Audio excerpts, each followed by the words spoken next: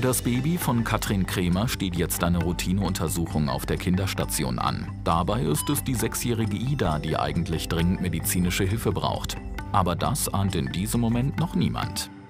Sie sind auch zufrieden soweit? Ja, alles gut. Also ich bin wirklich glücklich, dass er sich so gut entwickelt. Der kleine Ben kam in Begleitung von seiner Mama und von seiner großen Schwester zu uns äh, auf die Station. Ich kannte den schon vorher, der war eine Frühgeburt, ist hier geboren, war relativ dramatische Geschichte. Aber dafür hat er sich ja wirklich toll entwickelt. Ähm, mir fällt hier gerade auf, dass die äh, dritte Grundimmunisierung, die Sechsfachimpfung, noch fehlt.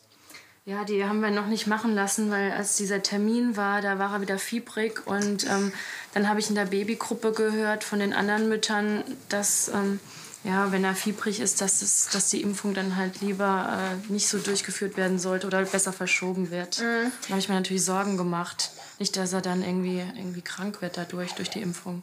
Ja, also es gibt schon klare Indikationen und Kontraindikationen, ob man jetzt impft oder nicht. Ne? Wir können den ruhig schon mal einmal hierher setzen, dann kann ich schon mal anfangen. Ähm, und ähm, grundsätzlich ist es halt so, dass wenn die Kinder nicht sehr krank sind und hochfiebern, man eigentlich impft. Mhm. Ähm, ich kann ihre Sorgen natürlich verstehen und die Sorgen haben viele, aber ähm, da brauchen sie sich eigentlich keine Sorgen machen. Wichtig ist, dass die Kinder überhaupt geimpft werden, denn gerade Kinder, die manchmal ein bisschen viel kränkeln und so weiter, brauchen diese Impfung umso mehr. Ne? Mhm. Ähm, man muss halt eben verhindern, dass sie diese schwerwiegenden Erkrankungen bekommen. Und in Deutschland ist leider im Moment so ein bisschen der Trend zum Nicht-Impfen zu verzeichnen, ja. sodass wir auch durch diese Herdenimmunisierung nicht mehr äh, ausreichend Schutz haben. Ne? Gerade die Kinder, die zum Beispiel gerade nicht geimpft werden können, weil sie wirklich ernsthaft krank sind, sind dann wirklich gefährdet und natürlich auch gesunde Kinder, die nicht geimpft werden. Ne? Mhm. Herdenimmunisierung ist ja klar, ne? wenn alle geimpft sind, dann wird der eine, der nicht geimpft ist, nicht krank, weil alle anderen geimpft sind. Ja? Ist das jetzt schlimm? Dass, also ist es jetzt zu spät dann für Nein. diese Impfung? Nein, Nein zu spät ist es nicht. Wir können das heute einfach noch ähm, nachholen, jetzt mit dieser U-Untersuchung. Und dann ähm, haben wir eigentlich nichts verloren. Ja? Bevor Assistenzärztin Tabia Rode den sechs Monate alten Ben impft, untersucht sie den Säugling eingehend und ist mit dem Allgemeinzustand ihres kleinen Patienten sehr zufrieden. Die sechsjährige Ida beobachtet das Geschehen aus sicherer Distanz und lässt sich nicht anmerken, dass es ihr schon länger nicht wirklich gut geht. Wie sieht es denn mit Ihrer großen Tochter aus? Hat sie äh, alle Impfungen bekommen oder fehlte auch noch irgendwas? Mal. Deine Schwester hat auch schon alle Impfungen. Du musst mal? Okay. Ja, zeige ich dir, wo das ist, ja? Nachdem die Impfung dann vollzogen war und die U-Untersuchung auch gut gelaufen war, wollte ich die Familie eigentlich wieder nach Hause gehen lassen. Aber es hat sich herausgestellt, dass Ben nicht der einzige Patient sein sollte, den ich aus dieser Familie an dem Tag hatte. Soll ich denn mitgehen? Nein. Nein, schaffst du? Hier vorne links, ja? Okay. Was, Ida? Ida? Was ist denn? Oh mein Gott. Hey, Ida, was ist los? Hey, Komm, Ida. Wir nehmen sie mal, ja? Was ist passiert? Hallo. Ida, bist du hingefallen? Bist du gestolpert? Komm mal, komm, in den, komm mal hoch. Du bist zwar ein großes Mädchen, aber komm mal zu mir auf den Arm. Da habe ich als erstes erstmal gedacht, dass es wahrscheinlich Kreislauf ist. Und ähm, vielleicht brütet sie irgendetwas aus. Es war relativ unklar. Normalerweise fallen sechsjährige Kinder nicht einfach um. Warum bist du denn jetzt hingefallen? Was ist denn passiert? Mal, ein bisschen nach oben gerutscht, ja? Hm? Ja. Komm, mach den Kopf was hoch. Kannst du einmal Fieber messen und äh, ja. Blutdruck? Ja. Puls hätte ich gerne. was, ist was ist passiert? Ist dir schwindelig geworden? Tut dir was weh? Du hast ein bisschen Angst, oder? Du willst gar nicht so gerne mit mir reden gerade, ne? Pass auf, ich untersuche dich einmal. Ja, du brauchst keine Angst haben. Wir machen auch erstmal nichts, was weh tut. Ja? Pass auf. Wir gucken einmal, ob du Fieber hast. Das macht es. Und jetzt sehen wir, dass die Ida 38,0 hat. Oh je. War sie krank in den letzten Tagen? Nein, eigentlich ging es ihr ganz gut. Okay. Sie hat nicht irgendwie über irgendwelche Schmerzen geklagt oder hat irgendwas Gar nicht. Also sie war ein bisschen ruhiger als sonst, aber ja, ich dachte halt, na, das ist jetzt ein bisschen auf Ben zurückzuschieben, hm. weil die neuen Familienumstände. Aber eigentlich, nee, eigentlich ging es ihr ganz gut, ja. Okay, also es ist nicht, sie hat nichts Besonderes gegessen. Dir geht's gut? Blutdruck ist auch in Ordnung, 120 zu 65. Puls, ein 104er Puls. ist ein bisschen erhöht, ne? Aber ich meine, gut, vielleicht ist sie irgendwie aufgeregt oder. Ja, Vielleicht keine hat sie Ahnung. das Vielleicht mitgenommen mit der Spritze gerade, weil er so geweint hat. Vielleicht auch das. Ich weiß es nicht. Also ich würde sie jetzt so auf jeden Fall erstmal nicht nach Hause schicken. Ich finde das ein bisschen unklar gerade, was mit ihr los ist. Dir tut wirklich nichts weh, ne? Du sagst, Du es ist alles sagen, gut. Ne, wenn dir was weh tut. Tut dir denn was weh? Nein? Gibt es irgendwelche Vorerkrankungen bei ihr oder irgendwelche familiären Erkrankungen, die gehäuft vorkommen? Ja, also nicht, dass ich wüsste. Ida war in der Babyklappe und wir haben sie selbst in der Familie erst seit anderthalb Jahren. Aber Ach so. soweit ich weiß, gibt es keine Vorerkrankung. Also nicht, dass wir wissen. Also Sie wissen es eigentlich gar nicht ganz genau. Mhm. Okay. Gut, dann kommen wir da jetzt auf jeden Fall nicht weiter. Bleibst du ein bisschen bei uns? Nein. Ich will, ich will. Ida, mein Schatz. Ich will Mama, ne? Pass auf, die Mama, die bleibt ja auch ein bisschen bestimmt noch bei dir. Darf ich oder? hier bleiben? Ja. Klar. Also Sie können auf jeden Fall mit ihr hier bleiben. Wir können äh, da auf jeden Fall irgendwas arrangieren. Sie ist ja auch noch nicht so alt. Was machen Sie mit Ihrem Aber Mäuschen, du musst, du musst Äh, Ich würde ihn zum Papa bringen, wenn Perfekt. das okay ist. Ida, Schatz, ich würde Ben zum Papa bringen und dir noch frische Klamotten. Schatz, alles gut, alles gut. Und dann komme ich wieder, ja? Erst nachdem Pflegemutter und Ärztin mit Engelszungen auf sie eingeredet haben, sieht die kleine Ida ein, dass sie im Krankenhaus bleiben muss. Nachdem Katrin ihren Sohn nach Hause zu Ehemann Bastian gebracht hat, ist sie sofort zurück in die Klinik gekommen. Die Grundschülerin behauptet weiterhin, dass es ihr gut geht. Ihr Allgemeinzustand zeigt jedoch deutlich, dass das Gegenteil der Fall ist. Gott, du Mädchen, wie guckst du denn? Hm? Okay. Okay, okay. Mal ganz gut atmen. Das ist super. Ähm, ich hole jetzt mal die Ärztin. Das möchte ich jetzt einfach mal beobachten. Ida, setz dich mal aufrecht. Als ich nach der Ida schauen wollte und ins Zimmer kam, merkte ich schon, wie ihre Backen dick wurde und ein typisches Zeichen für, dass sie sich übergeben musste. Sie hat dann noch Fieber entwickelt, auf 39 war sie angestiegen und das war irgendwo so der Zeitpunkt, dass wir gesagt haben, jetzt müssen wir unsere Stationsärztin rufen, die muss man danach schauen, denn das war, ist nicht normal. Ich Man habe muss das Erbrochene noch mal mitgebracht, falls die Tabea sich das anschauen möchte. Ja, das schließen wir jetzt mal schnell an und dann schauen wir mal. Dann gucken wir mal Fernsehen in deinem Bauch, ne? Kommt sie denn? Oder Ja, steckt komm. sie gerade Nee, nee. irgendwo fest? Nee, nee, sie kommt. Gut. Okay, jetzt an. Das hast du doch schon mal gesehen bei mir. Mal, das ist ganz was Schickes. So, und hier kann man Fernsehen, da kann man sehen, wie es in deinem Bauch aussieht. Das hast du schon mal gesehen. Ah, Tabea. Hallo. was ist passiert? Geht ihr nicht so gut, hat gerade ein bisschen gespuckt. Sagt mir aber, dass es ihr gut geht. Okay, gut. Ida, was denn los, hm? Erzähl mal. Was ist passiert? Hm? Tut dir doch was weh? Komm, wir machen einmal die Decke weg. Niemand kann sich erklären, warum das Mädchen sein offensichtliches Leiden bislang so vehement abgestritten hat.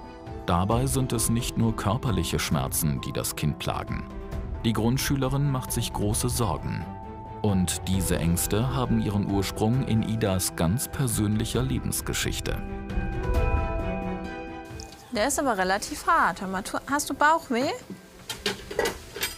Maus, du kannst ruhig sprechen. Sag, wenn du Schmerzen hast, bitte. Gegessen hat sie nichts. Gar nichts. Ist dir schlecht? Ich habe dann auch noch mal auf den Bauch geguckt, was ich vorher ein bisschen versäumt hatte, dadurch, dass mein Fokus einfach auf etwas anderem lag. Bei der Bauchuntersuchung hat sich dann gezeigt, dass ihre Darmgeräusche anders waren als normal. Ich habe dann noch mal mit dem Ultraschall auch ähm, geschaut und habe dann eindeutige Anzeichen gefunden für eine ernsthafte Erkrankung. Das sieht aus wie eine, ähm, wie eine Invagination. Das heißt, du musst eigentlich ganz schön dolle Bauchweh haben. Kann das sein? Wie lange hast du schon Bauchweh? Nicht lange. Blutwerte kommen in einer Viertelstunde. Okay, also, das sieht ganz nach einer Darminvagination aus, habe ich ja gerade schon gesagt. Ne? Eine, ich gebe dir das Was bedeutet das denn? Ähm, eine Darminvagination, das ist, wenn sich ein Darmabschnitt in den nächsten stülpt, sozusagen. Da wird dann der Darm abgedrückt Da werden dann auch die Gefäße abgedrückt, dann funktioniert die Durchblutung nicht mehr so gut und dann kann der Darm eben mit der Zeit auch absterben. Oh Gott. Ähm, normalerweise kann man das ganz gut konservativ behandeln, indem man einfach, ähm, einfach einen Einlauf macht ja, mit ein bisschen Wasser und dann ist es oft so, dass der, ba äh, dass der Darm wieder zurückrutscht in die richtige Position. Ne? Komm, deck dich mal wieder zu. Eine Darminvagination ist eigentlich etwas, was nur bei kleinen Kindern unter einem Jahr vorkommt und dort am häufigsten ist. Dass es ältere Kinder betrifft, ist relativ selten. Natürlich kann es auch ganz viele andere Gründe geben für Bauchschmerzen, die hier sicherlich erstmal wahrscheinlicher gewesen wären. Das heißt, wir haben hier eigentlich so eine Art Kolibri, wie wir das sagen. Symptome sind da auch sehr unspezifisch. Ne? Man hat Bauchschmerzen, oft kolikartige Bauchschmerzen. Es kann natürlich dann im Folgenden auch zum Erbrechen kommen. Ähm, Stuhlschwierigkeiten von diverser Art kann man auch haben. Ähm, da gibt es ganz unterschiedliche Sachen, die sch erstmal schwer zu deuten sind und man muss dann einfach gucken, woher kommt es eigentlich. Wir kümmern uns jetzt erstmal darum, dass wir das behandeln. Ja? ja. Ähm, wir brauchen auf jeden Fall schon mal alles für den Einlauf. Das könnten wir gleich einmal ähm, zusammen alles vorbereiten. Und dann machen wir das hier drin. Das Gerät Klar. kannst du hier lassen, weil wir brauchen das Ach so, ja unter Kontrolle, ne? natürlich. Unter so Auf jeden Fall. Das machen. Klar, genau. Sie dabei bleiben. Ich bin bei dir, okay, mein Schatz. Die Worte ihrer Pflegemutter können Ida nicht beruhigen. Die Sechsjährige will weiterhin trotz schlimmer Schmerzen lieber nach Hause. Der dringend notwendige Einlauf wird aber kurz darauf unter Narkose vorgenommen und bringt den erhofften Erfolg. Als Mama Katrin auch am folgenden Tag am Bett ihres Pflegekindes wacht, scheinen eigentlich alle Probleme aus der Welt zu sein. Na, das ist ja gut, dass du wach bist. Ida, geht's dir denn besser? Hast du noch Bauchweh? Nein, ehrlich. Ui. Gar kein Bauchweh. Das ist ja, es klingt auch das erste Mal so richtig resolut. okay. Pass auf, wir würden noch einmal ähm, untersuchen und noch mal gucken, ob mit deinem Bauch alles in Ordnung ist. Ja?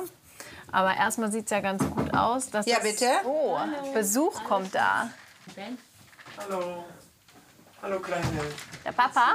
Ja. Wie geht's dir? Mir geht's schon besser. Sie hat die ganze Zeit geschlafen. Hallo, Alles gut? Hallo, wie geht's dir, Kleine?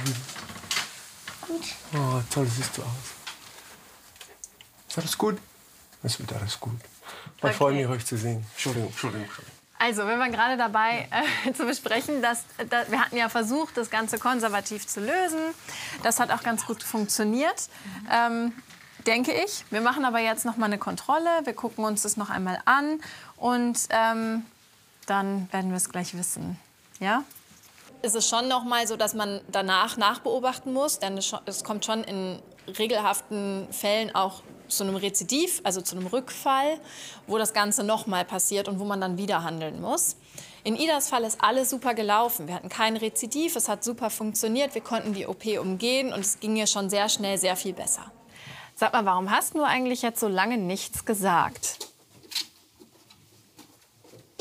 Du musst doch schon ein bisschen länger Bauchschmerzen gehabt haben, oder? Niemand will ein kaputtes Kind. Oh Gott, was?